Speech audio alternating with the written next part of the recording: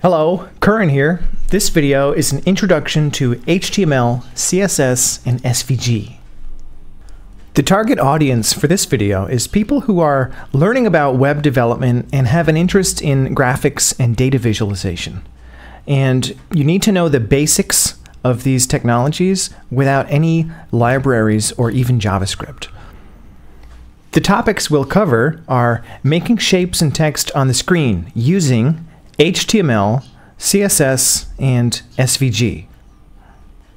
I saw this figure from the Wikipedia article on HTML5, and it sort of outlines the structure of HTML5 and the various um, sub specifications. The way this works is it's it's a standard where it's like there's a specification for all of these APIs within HTML5, and one of these is the core, which is the HTML syntax that you use to make the HTML pages. And within that, all of these other things are APIs that you can use to um, perform different tasks. Um, this is CSS, which is also part of the HTML5 specification, and SVG, Scalable Vector Graphics, is there as well. As a simplified version of that picture, you can think of HTML, the specification, as encompassing SVG, CSS, and HTML, the syntax, which is actually based off XML. I'm going to talk about each of these three things in some detail with examples, starting off with HTML, Hypertext Markup Language. What we're going to do is build a simple page that is a report of cars that you might want to buy using HTML. And we're going to make a header title and a bulleted list of cars. So let's start by making the header title on our page. For this, I'm going to use VizHub, and you can follow along by going to vizhub.com.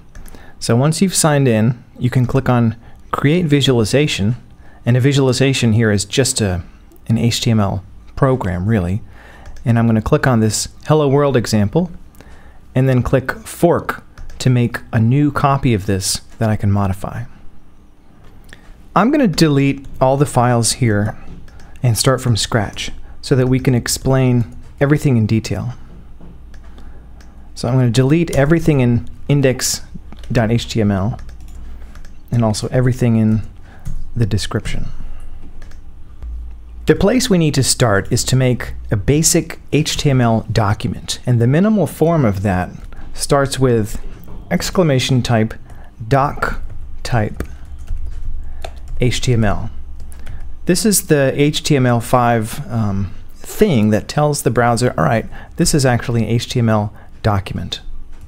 Then we start with the HTML tag. This is a tag, the opening tag, and then we also need a closing tag.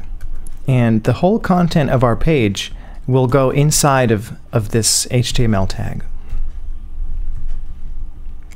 There are two tags that go within the top level HTML tag. The first of which is head. So we can say, okay, open head, close head. And the second of which is body. Body, not body. Inside the head is where you put things that don't get shown directly, but they sort of set things up. Um, one example is the title. We can set the title of the page to be something like, you know, HTML cars report. The title is usually what appears in the browser tab if you were to open this as a separate page. In the body is where we put things that get displayed. So we can put just some text in here like hello, and you see that it gets displayed over here.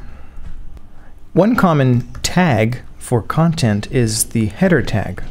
We can have an h1 tag, begin h1, end h1, and then inside of this h1 tag we can put a header of the page like cars report.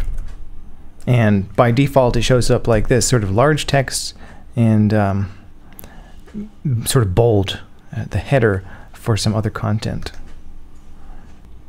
All right, we've created our header title with HTML. Next, let's make a bulleted list.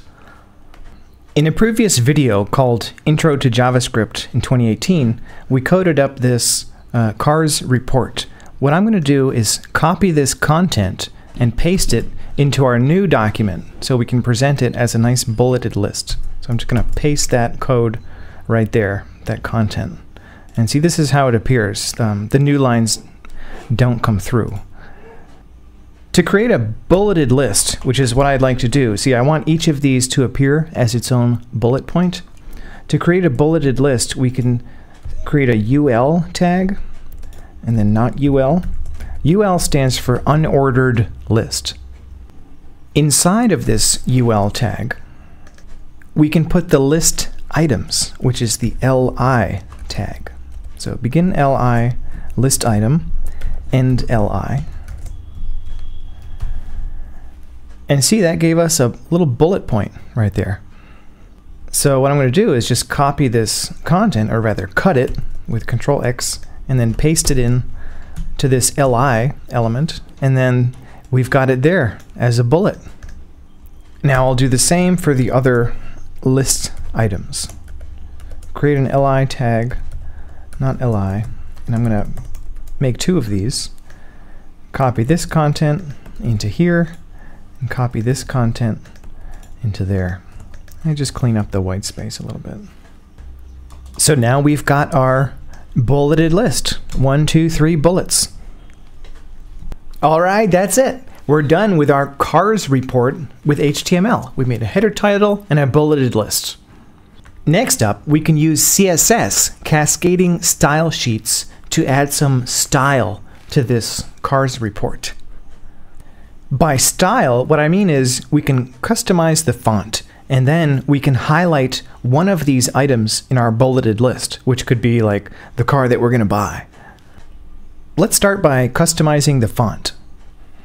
One thing that's kind of frustrating is that the text here is a little small. So one thing we can do to customize the font, meaning the, the style of the text, is to make everything bigger.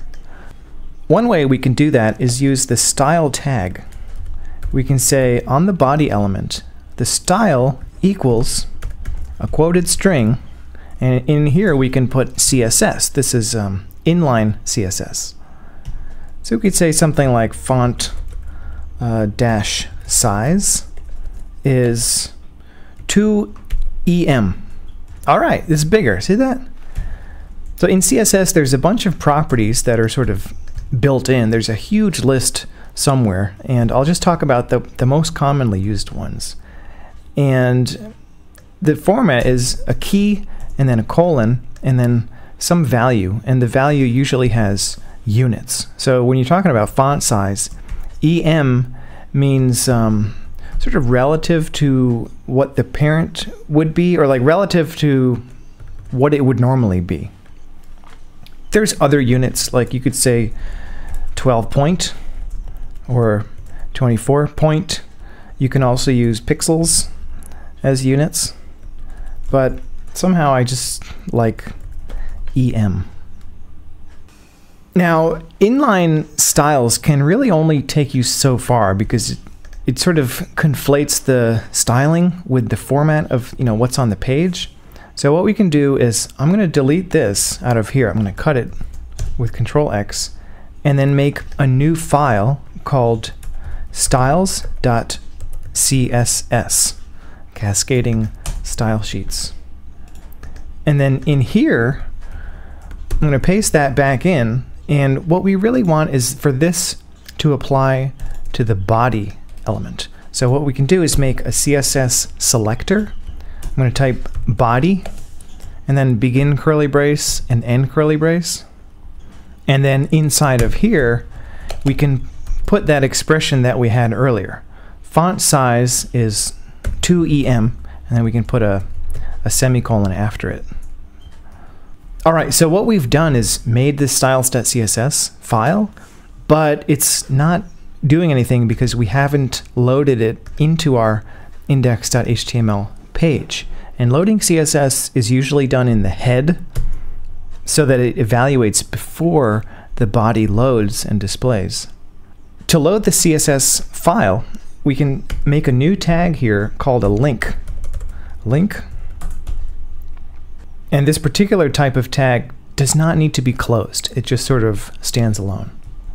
And we can say rel equals style sheet to tell the page what kind of a link this is. And then we can set the href to be styles.css. And now it loads onto the page. So this is how you can load CSS files into HTML pages. Now that we've got this file, we can sort of expand and make it more, more complicated. So one thing is I don't really like this font uh, because it's a report. I want it to look um, sort of nerdy.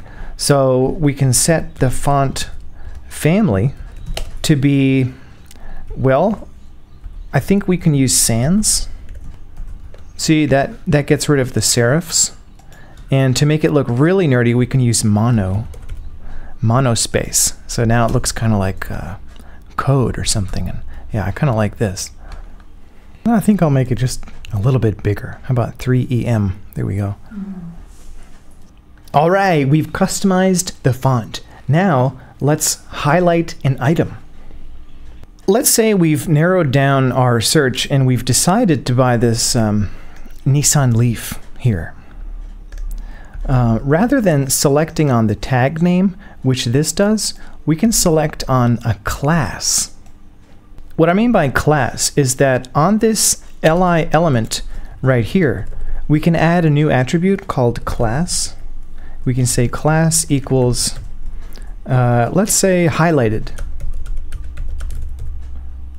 Now that this has a class of highlighted, in our CSS, we can select it using dot. So we type dot highlighted. This is a CSS selector that selects all elements that have the class of highlighted. And so now that we've got that, we can make it look highlighted by, I don't know, let's set the color. Color is red. And see, now our Nissan Leaf is red. All right, we're done with our cars report with CSS. We've customized the font and we've highlighted an item. That's as much detail as I'm going to go into right now for HTML and CSS. Now, I'd like to talk about SVG, Scalable Vector Graphics.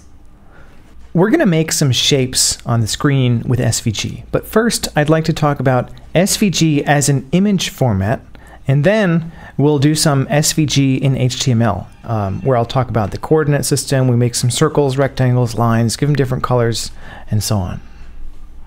This is the Ghostscript Tiger. This is one of the earlier images that was created using SVG, and it sort of showed the world like what is SVG capable of? What what you can, what can you represent with SVG? And I want to show you this original file. If I open that up, see we've opened a .svg file, uh, which is an, a format for images. But what makes this different from other image formats is that it encodes each and every shape as a separate thing. See, if we inspect this here, what I did is I clicked right click and then inspect. We can see that actually all of these different teeth are different um, objects. These are G elements, group elements. And within these group elements, these are paths. One path for each tooth. So you can imagine each shape in here, like the eyes, for example, and you know those jagged fur edges and each whisker all of these are separate independent shapes that are encoded based on the coordinates of these paths which is a totally different way of representing images as compared to like JPEGs or PNGs. The overall effect of this is that the image is scalable, meaning no matter how much you zoom in, it's not going to ever get pixelated because the browser is going to render these paths based on these coordinates and it's never going to get uh, blurry or pixelated like raster images do. Contrast that with the PNG version of this image, which is a raster image. And a raster image, it's made up of a grid of pixels, and each pixel has its own color. This PNG is defined as, I think, 200 by 200 pixels. So when you zoom in this, it starts to get blurry, and you can see where the image is defined actually in terms of pixels that have different colors, and not in terms of the shapes that are inside of the image. So that's SVG as an image format. It's the concept behind SVG, why it's called scalable vector graphics. Next, let's make some SVG elements in our HTML page. This is where the fun begins. I'm going to fork this example again and create a, a new page where we're going to put some SVG elements in here. So it's no longer going to be a cars report.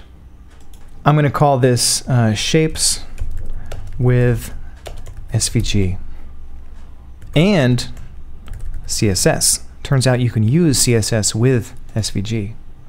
In addition to being a format, like a file format for images, SVG you can actually put inside of HTML using the SVG tag. So begin SVG, end SVG. This is an SVG tag. And in here, SVG has a bunch of uh, custom elements that only make sense inside of the SVG tag. For example, a circle.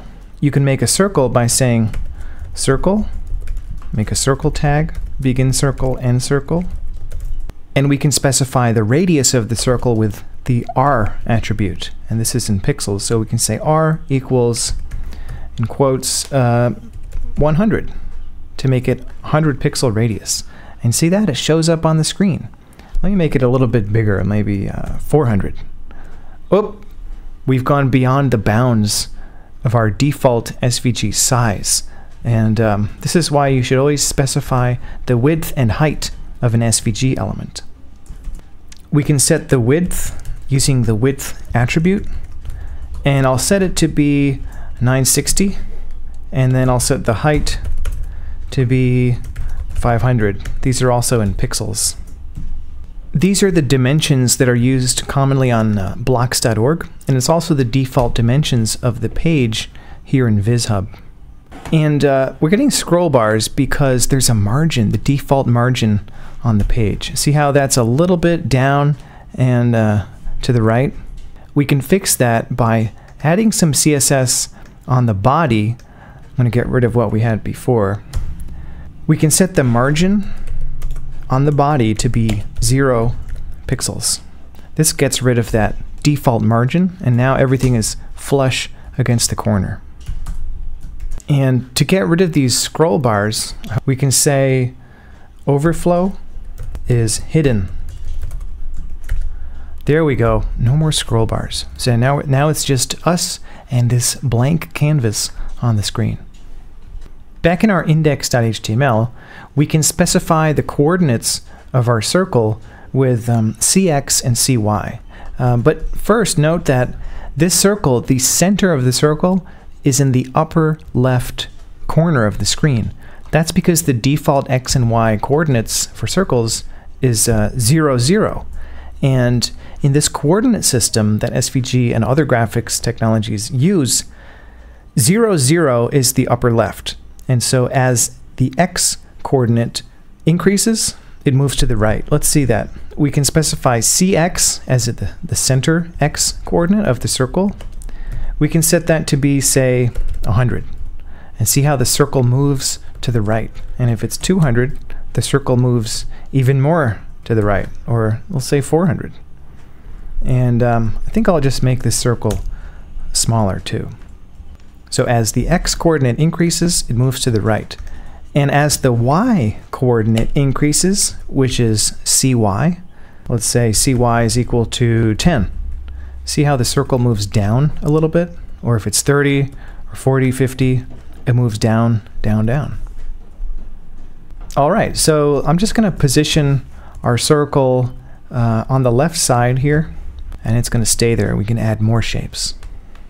Another common SVG shape is a rectangle, which you can create with the rect tag. Rectangles have width, let's say I'll give it a width of uh, 50. And rectangles also have height. And without width and height, you're not going to see any rectangle. So I'll give that 50 as well. See, we've got this black square in the corner. We can position rectangles by using just x and y. So I'm going to set x to be, say, 100, move it over to the right, and then I'll set y to be, let's say, 20, to move it 20 pixels down. I'll just make it 25 so it lines up nicely with our circle. All right, we've got a circle, we've got a square. The default color of things in SVG is black. Uh, but let's add some color. I'm going to copy paste that circle, make a new circle, and then move it uh, down a little bit. Say 100 pixels or 200 pixels or let's say 150. There we go. We can set the fill attribute to set the color of these objects. So let's say fill is red. Boom! Now we've got this red circle. And we can do the same with our rectangle. So I'll make a new rectangle and I'll increase the Y position by 100, so make it 125. And then we can make the color of this fill equals, I don't know, how about green? All right, red and green. CSS has a number of these strings, or so-called named colors, uh, but you can use hex colors as well. So if you just Google for color picker, there's a ton of color pickers on the web. And so you get this nice interface where you've got this rainbow and you can say like how bright or how dark it is. So you can use this to pick a color and then copy this string and set that to be the fill of whatever shapes that you want. So now we get this nice bright green.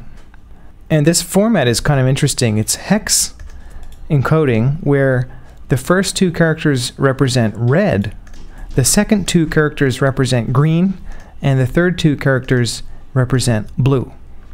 And see, this is another way of encoding that color, RGB, red, green, blue, as these three numbers, each of which varies between 0 and uh, 256, or maybe 255. We can use that format as well in the fill attribute. I'll just switch it back. Notice how we had to add manually 100 pixels to the y coordinates of these shapes. But what I really wanted to do is just copy paste these two and then move them both down together. And in fact, this is possible using an element called a group element. So what I'm going to do is, again, copy paste those two things, circle and rect, but then I'm going to put them inside of a group element, which is the G tag in SVG. So I'm going to make the begin group element there, the end group element down here, and then indent these two lines because they're inside of this group element.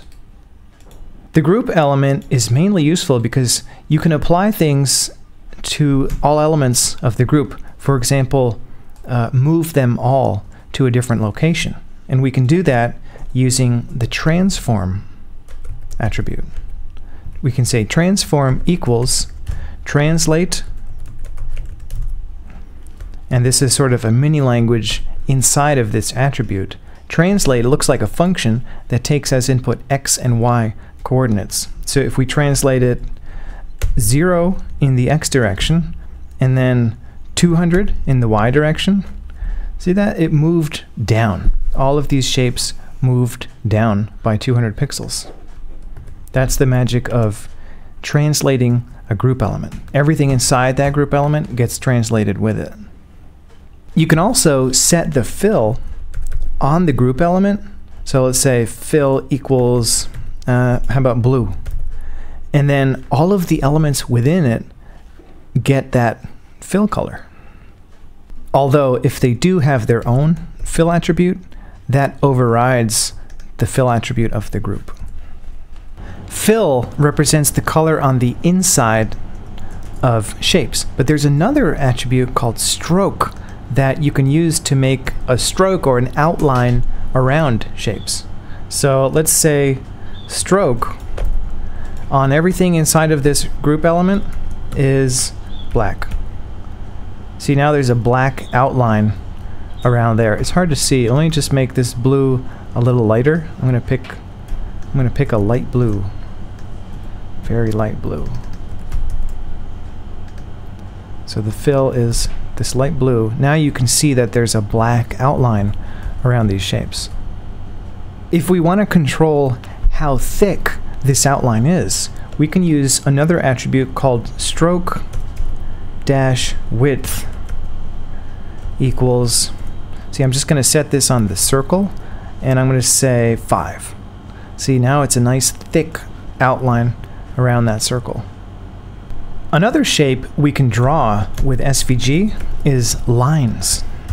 So we can make a line element begin line end line and lines go from one point to another. And the first point of a line you can specify with x1 and y1. So I'll say x1 is, I don't know, 200. y1 is also 200. And then the second point of a line you can specify with x2 and y2. So I'll say x2 is um, 220 and then y2 is also 220.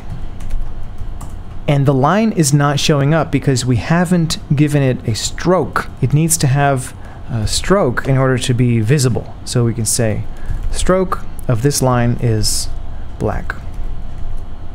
Now we see this one pixel wide line right here. And we can also set the stroke dash width to be, let's say, 10. Now it's a really thick line. Well, I'll tweak the coordinates a little bit here. That's how you can make a line with SVG. Another common element that you see in SVG are paths.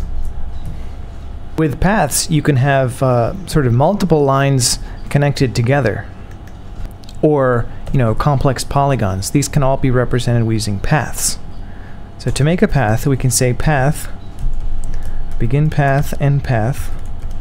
And you know what? I'd like this path also to have the same stroke and stroke width as our line. So I think what I'll do is put these both inside of a group element that has that stroke and stroke width so that we don't need to repeat these on all of our elements here.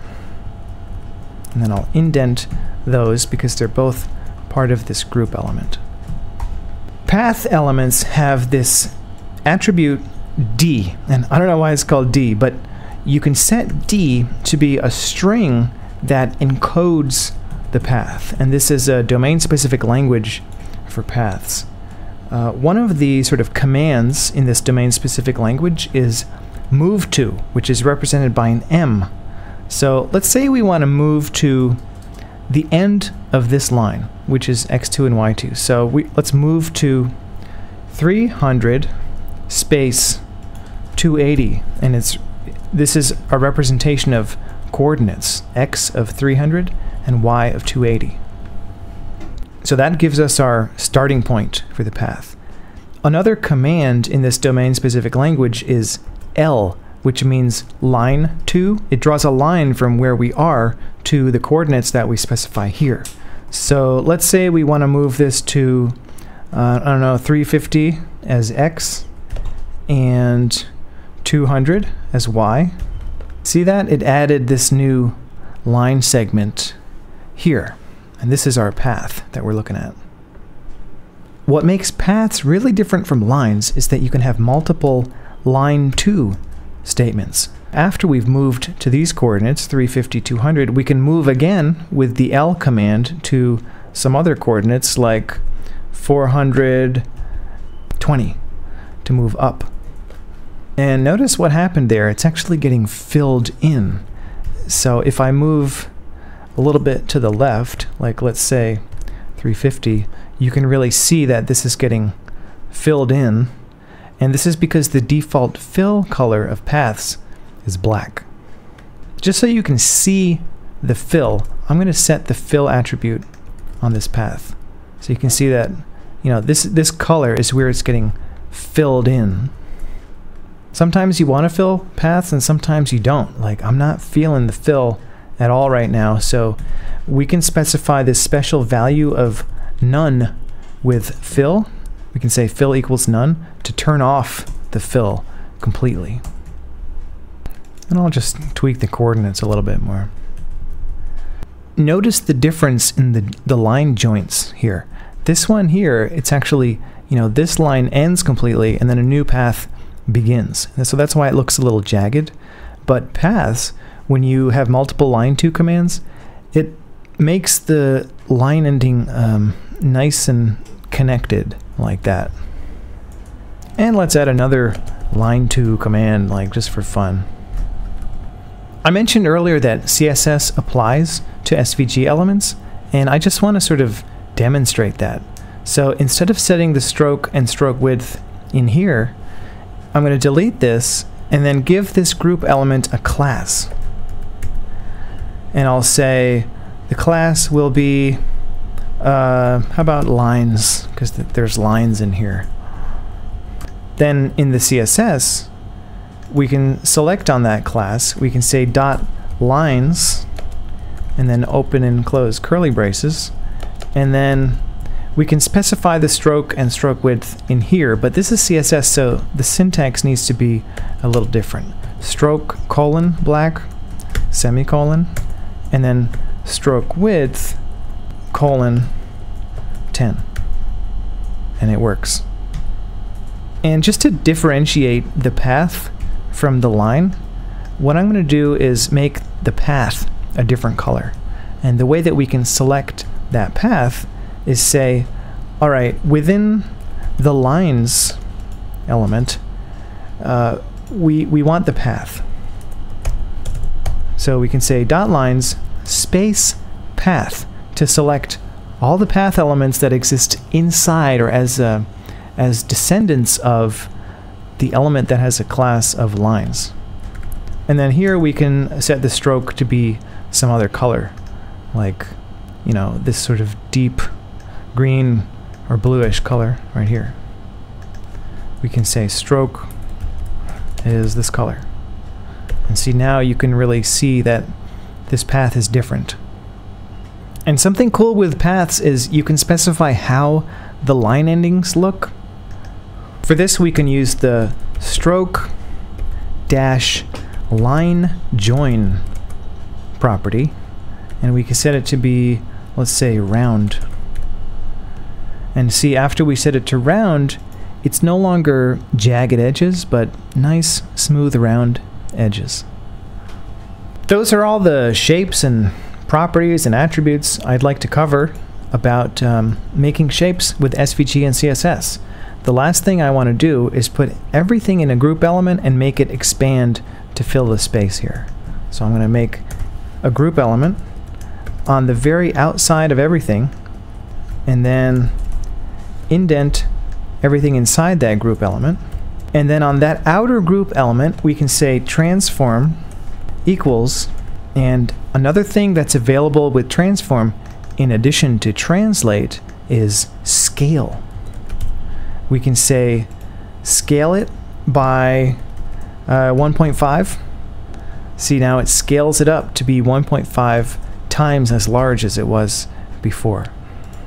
And I think I'll just move our lines a little bit to the right by translating them by, uh, let's say 50 pixels to the right. There we go. That's how you can make shapes on the screen with SVG and CSS. That's all we've got for the introduction to HTML, CSS, and SVG. Hope you got something out of this, and uh, soon we're going to make shapes on the screen that actually mean something. So, thanks for watching. Take care.